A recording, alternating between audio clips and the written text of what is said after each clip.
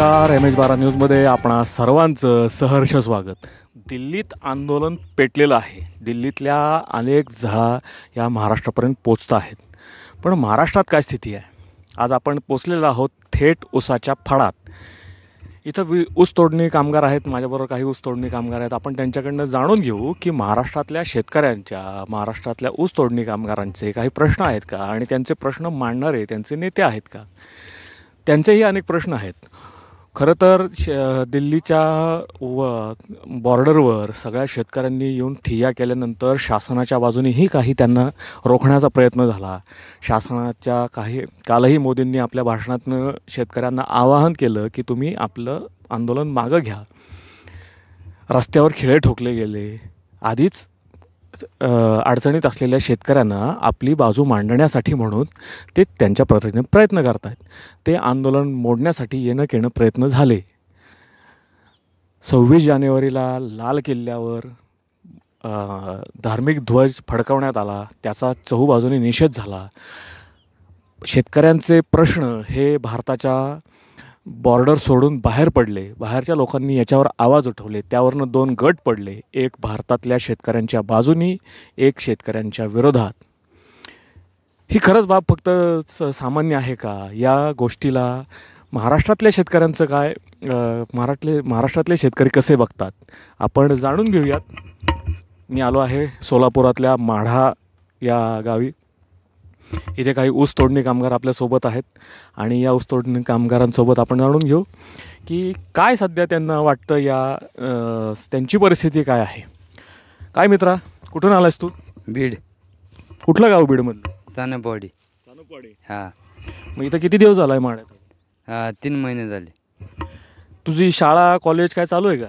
हा दहावी चालू आहे अकरावी चालू अकरावी चालू आहे. कुठल्या कॉलेजला ॲडमिशन घेतलं आहे आहे बळवंतराव कदम. मग आता किती दिवस झाले तू ऊस तोडणी करतो इथं? तीन महिने झाले. लॉकडाऊनपासून तू आता शाळा सोडून ऊस तोडणी हे करतोय. हा. काय अडचणी येतात का ऊस तोडणी करताना तुम्हाला इथे? अडचणी येतात ना.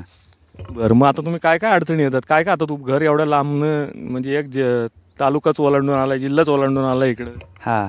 कोण कोण आले तुझ्याबरोबर आई वडील घरातली फॅमिली घरातली फॅमिली सगळी आलेली आहे. तू काय काय काम करतो इथं? ऊस तोडतो. ट्रॅक्टर चालवतो. ट्रॅक्टर पण चालवतो का?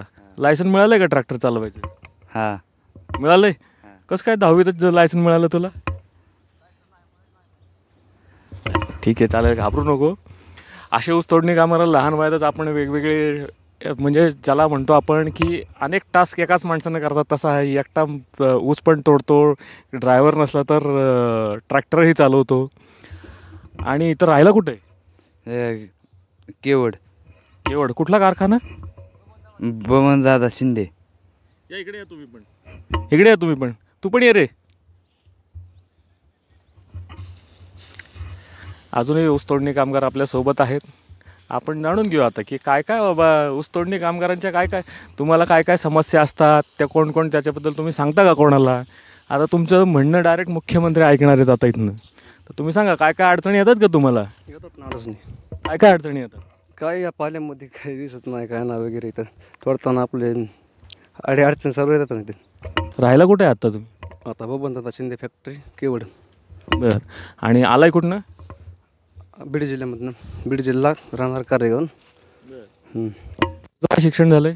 बारावी. बारावी झाली. आणि मग आता पुढचं शिक्षणाचं काय? पुढचं शिक्षणाचं काय आणि नियोजन नाही केलेलं. आता सास सोडण्यासाठी आलतो ह्यावेळेस लॉकडाऊनपासून लॉकडाऊनपासून ऊस तोडणी करतोय. कोण कोण आलाय तुम्ही घरातून?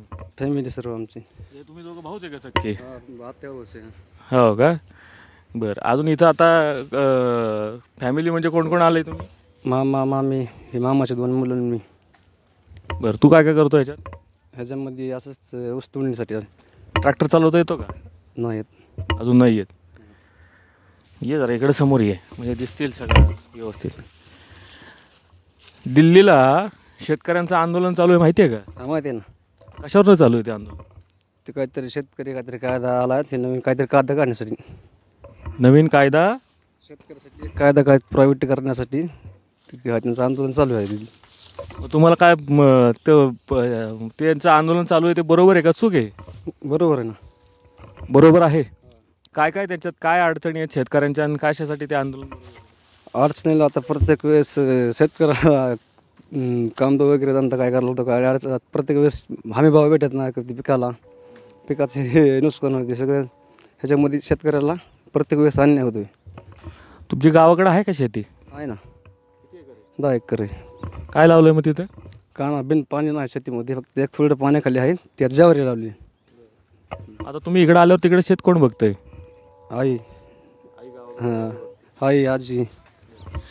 तुम्ही तुमचं हे कुठं नेऊन विकता? तुमच्या आता शेतातली जे आलेलं सगळं धान्य आहे ते कुठं नेऊन विकता?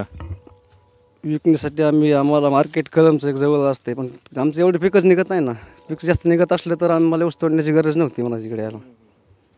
मग आता तुम्ही जे आहे ते स्वतः पुरतं वापरता. मग ते मार्केट कमिट्या खाजगीकरण याच्याबद्दल काय माहिती आहे का तुम्हाला? मा मार्केट एवढं काय आपण शेतमाल एवढा आपला मार्केटला गेला असं जास्त करून. आपली कोरडवाहू शेती असल्यामुळे जास्त जाण्यासमोर जास्त येत नाही. पण मग तुमचं ह्या जे क- शेतीचं जे खाजगीकरण चाललं आहे त्याच्यात तुम्ही विरोधात आहात? हां. सरकारनेच तुम्हाला हमीभाव दिला पाहिजे. सरकारनं दिला पाहिजे हमी भाव. हर एक पिकाचा शेतकऱ्याला हमी भाव दिला पाहिजे सरकारनंच. वर- व्यापारी वगैरे आहेत परंतु व्यापाऱ्यापाशी माल द्यायचा व्यापारी मध्ये आपल्याला चुना लावते सगळे. मग त्याच्यापेक्षा आपल्या शेत सर सरकारनं हमी भाव शेतकऱ्यांना द्यायला पाहिजे. हर एक पिकाला. जसं हां तसंच. हे होतले महाराष्ट्रातले शेतकरी आणि शेतमजूर जे आता काही कॉलेजमधले तरुण आता लॉकडाऊन नंतर या शेतीकडे वळालेले आहेत. त्यांच्यातले काही जण ऊसतोड म्हणून ऊसतोडणी कामगार म्हणून आपल्या ऊसात आईवडिलांना मदत करण्यासाठी येत आहेत. दिल्लीतल्या शेतकऱ्यांचं आंदोलन हे योग्य दिशेनं आहे असं त्यांचं मत आहे. आणि अशी आंदोलनं व्हायला पाहिजेत याच्याने लोकशाही बळकट होईल. शेतकऱ्यांना हमीभाव मिळालाच पाहिजे. दिल्लीतल्या शेतकऱ्यांना पाठिंबा देत आहेत. मी विकास माने एम एच बारा न्यूज सोलापूर.